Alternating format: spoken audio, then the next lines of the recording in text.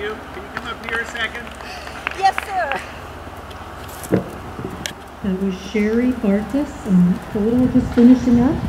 And we should see Kate Starnes on Willow coming in the arena. After that on deck will be Ava Myers on Froggy.